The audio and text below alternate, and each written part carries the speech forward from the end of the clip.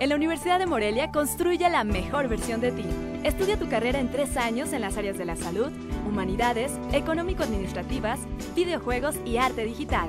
udemorelia.edu.mx, teléfono 317-7771.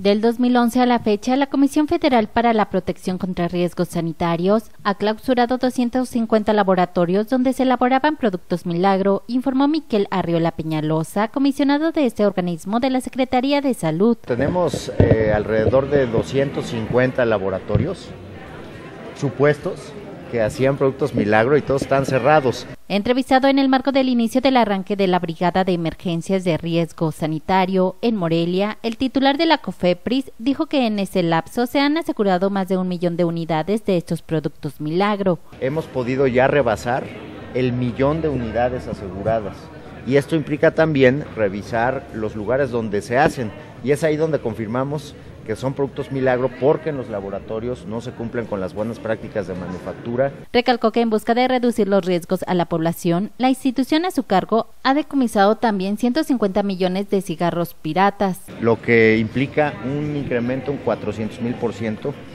contra un 2010 de 40 mil cigarros.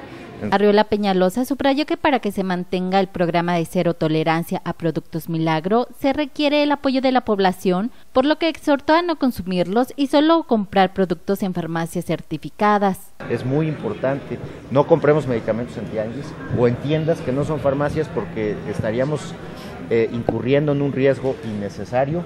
Tenemos una cobertura en nuestro país de 23 mil farmacias, entonces usémosla de manera inteligente. El titular de la COFEPRIS dijo que en Chetumal, Manzanillo y Nuevo Laredo es donde más se ha detectado que ingresa producto ilegal al mercado, por lo que se ha reforzado la vigilancia en esas zonas y hasta el momento se han aplicado sanciones de alrededor de 10 millones y medio de pesos a los que introducen este tipo de productos. Con información de Sandra Sáenz, informa Quasar TV.